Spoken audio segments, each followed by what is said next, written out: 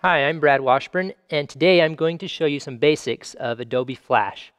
I've been a graphic designer and a web designer for several years, and I've seen several versions of Flash, but the one we're going to use today is Flash CS5.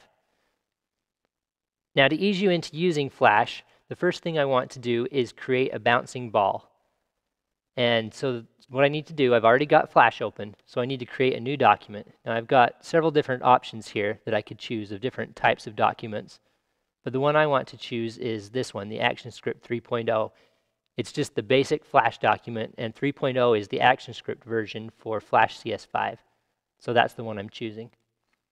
I've got my document open, and up here is my timeline. Now I want to create two layers there, and I'll explain why I need the other layer later. On the first layer, layer 1, I want to create the actual ball. So to do that, I need to create a circle. Now there's a, a tool called the Oval tool. If you go over to the Tools palette, it's right underneath the Rectangle tool, where there's also a shortcut, which is O. And that changes to my Oval tool. Then I hold down Shift to make a perfect circle. If I didn't hold down Shift, then it would make an actual oval. So there's our ball. And I don't think I want it black. I think I want to make this a red ball. So let's select that to change the color, you have to have it selected. Now I can change the color right down here, the fill color, or I can go to the color palette, which there's a little button for that right here, or there's also a keyboard shortcut, which on the Mac is Command Shift F9. If you're using Windows, it's just Shift F9. Now I make sure I got my fill here, and I'm going to choose red. And I'll leave that a solid color. I could also change it to a gradient if I wanted, um, but I want to work with a solid color for now. So let's click this button to close that palette. Now I've got my ball, and I need to change it to a symbol, because to animate this, I need it to be a symbol. So there's two ways I can do that. I can do I can go to the modify menu and choose convert to symbol, or I can just hit F8, which is the keyboard shortcut. So let's do that. And we'll name this ball. And there we have it. We have our ball. Now we need to decide how we want to animate this. So remember that second layer I created? Let's go up to that, and we're going to create a path for this ball. Um, it's called a guide path. So the first thing we need to do is right-click on this layer and make it a guide layer. And then we're going to go to our line tool to create the path. And there's a keyboard shortcut for that. The line tool is right here, but the shortcut is N. And now we just draw our path and we'll make the ball bounce and it'll get just a little bit lower each bounce just for fun because that's kind of how balls bounce. So there's our path.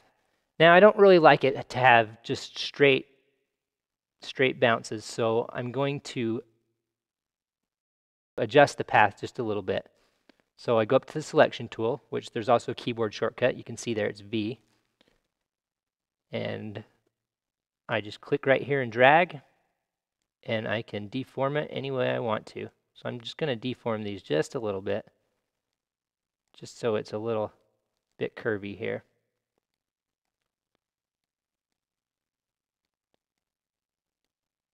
And there we go. And that's our path.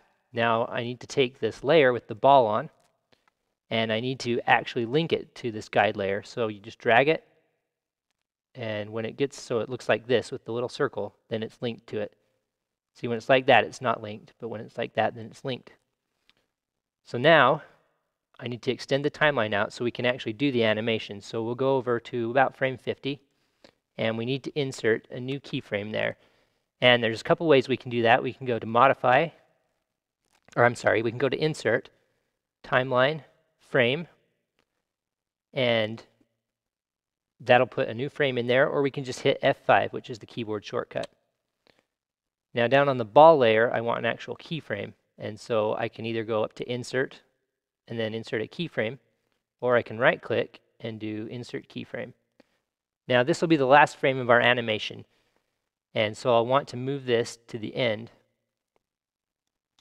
and snap it onto the path at the end of our animation. And then we'll go back to the first keyframe and we'll move the ball up to the beginning of the path and snap it onto the path.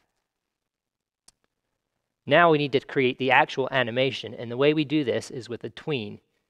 Now, some of you may never have heard of tweens. What a tween is, is in traditional animation, there will be a lead animator that will draw the keyframes, which would be the first one here and the end one here.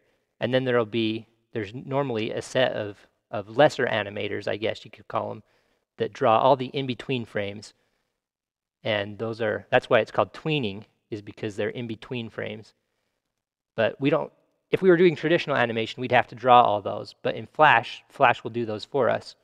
So we can either go to the Insert menu and insert a classic tween, or we can right click on this and do Create Classic Tween.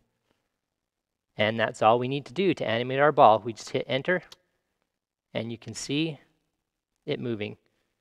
Now, if we want to see this without the guide layer, then you hit Control Enter, and that'll open it in another window, or Command Enter if you're on Mac like I am. And there we go, there's our animation.